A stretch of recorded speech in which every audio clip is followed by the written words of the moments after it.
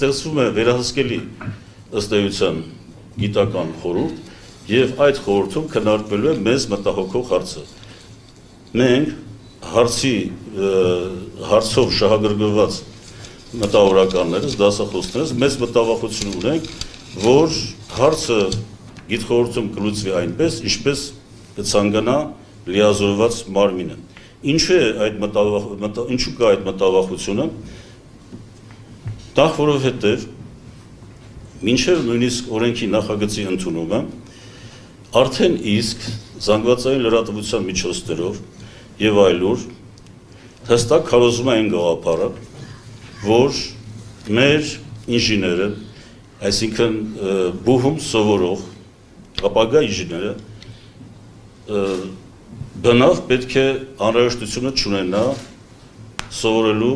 հայերեն կամ անհրաժեշտ չէ նրան ուսուցանել հայերենը որ այդ ուսուցումը բուհերում իրականացում է մասնագիտական առարկաների հաշվին, որ հայերենի դասավանդումը անհարկից անաբերում է ուսանողներին, ուսանողներին ավելորդ ժամանականակով, որ դպրոցում ստացած գիտելիքը միանգամայն բավարար է լավ տեխնոկրատ ստանալու համար եւ այլն։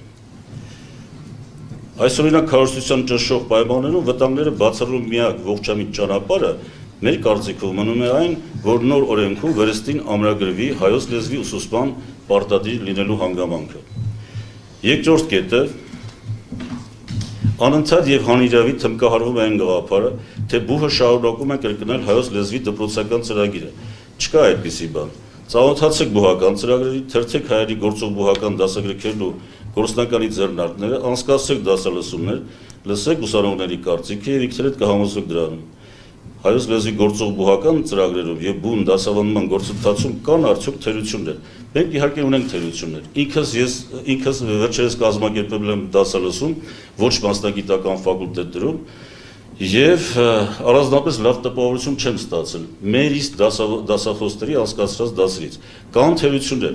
բայց այդ թերությունները շտկելի են եւ լիազոր մարմինը տպավորության նրա համար է, որ վերահսկի, անցկացնի դասալսումներ, անցկացնի քննարկումներ, Եվ եթե կան մոլորյալներ, այսպես ասած, դարձի հրավիրի նրանց։ Բայց ոչ թե վրեստենք ու միանգամից դեն նետենք առարկան պատճառաբանելով, որ թերություններ կան կամ իր նպատակին չի ծառայում։ Երրորդ կետը իմ խորին համոզմամբ եւ մեր խորին համոզմամբ հայերենը գործիք է մասնագիտությունը սովորելու եւ այն լավ յուրացնելու համար։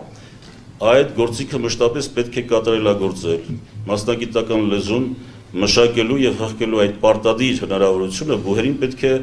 ընձեռել իրավունքի ուժով եւ ոչ թե թողնել բուհերի նախընտրությանը։ Չորրորդ կետը. Լեզուն բացառիկ դեր ունի քաղաքացու ազգային նկարագրի նկարագիրը ձևավորելու եւ ազգային ինքնությունը պահպանելու գործում։ Փոքր ժողովրդի համար լեզվի այդ դերը կարևորվում է երիցս։ Մեզ պետք են հայերենով դասիրակված եւ հայերեն մտածող, ազգային նկարագիր ունեցող ինժեներներ, եւ ոչ թե աշխարհի քաղաքացիներ, օտար բառով ասեմ, կոսմոպոլիտներ։ Ազգային դեմ չունեցող ինժեները ինժեները վաղը կարող է իսկապես մեր ժողովրդի գլխի պատուհաս դառնալ եւ պիտի հրաժարվել կարծում եմ այդ ճանապարհից։ 5-րդ կետը բուհերում պարտադիր համարվող առարկան խորին համոզմամբ մեր պետք է կոչվի հայոց լեզու։ Մենք հաճախ հայոց լեզու ասելով հասկանում ենք զուտ քերականությունը, բայց այն լայն հասկացություն է եւ ներառում է ըստ էության բանավոր գրավոր խոսքի հաղորդակցում, բարևարկություն, խոսքային հաղորդակցման հմտություններ եւ հազարու մի բան, ակադեմիական գրագրություն եւ այլն եւ այլն։ Հետևաբար մենք կարող ենք ընդհանուր օրենքի նախագծում ձևակերպել հայոց լեզու, առարկան ձևակերպել հայոց լեզու եւ բուհին թողնել այս դեպքում հայոց լեզվի դրսևորման տարբերակների ընտրությունը։ Ֆակուլտետը թող ինքը ընտրի, թե հայոց լեզվի որ տարբերակը, որ դրսևորումը, մասնագիտական լեզու է, բարևարկությունը, ճարտասանությունը եւ այլն ինքը ընտրի բուհը կամ ֆակուլտետը։ 6-րդ կետը Դրանց երկու կետ, երևի ես շատ համառոտ փորձեմ ներկայացնել, Հնարավոր է, որ մեր պահանջը չի բխում նախարարության կողմից առաջարկվող կրթական քաղաքականության ընդհանուր տրամաբանությունից, որովհետև այդ տրամաբանությունը ենթադրում է հրաժարվել որևէ առարկայի պարտադիր լինելու հանգամանքից։ Բայց մենք ունենք այն խորին համոզումը, որ հայոց լեզվի պարտադիր կամ ոչ պարտադիր լինելու հարցը չէ Հայաստանի Հանրապետության կրթական ոլորտի տասնյակ կարևոր հարցերից գոնե մեկը։ այդ ոլորտում կան շատ ավելի կարևոր եւ հրատապ լուծում պահանջող խնդիրներ։ Օրինակ վստահաբար կարելի է ասել, որ շատ տխուր վիճակը մեր հանրակրթական դպրոցում, որ կազմակերպված է ավակ դպրոցի ուսուցման համակարգը, որ պետք է դրան կարգի բերել նախ եւ առաջ, հետո մտածել բուհական կրթության մասին, եւ որ այսօր կազմակերպող ընդունելության քննությունները շտեմարաններով, որոնք ընդհանրապես սրտուղաբար յուրացում են հրանցում հրանցում ուսանողների, մեր դիմորդներին,